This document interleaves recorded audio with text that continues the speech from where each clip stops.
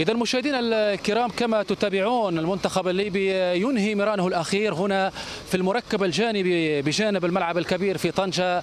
تأهبا لمباراة هذا الاثنين أمام غينيا الاستوائية في مباراة مهمة مباراة افتتاحية افتتاح افتتاح مباراة افتتاح المجموعة الثالثة في هذه البطولة. نتمنى أن يتكرر سيناريو 2014 لفرسان المتوسط مثل ما حدث في جنوب إفريقيا.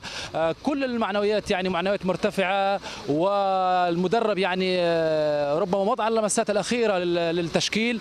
عمر المرمي سيلعب بتحفظ هذا اللقاء وسيركز على الهجمات المرتدة.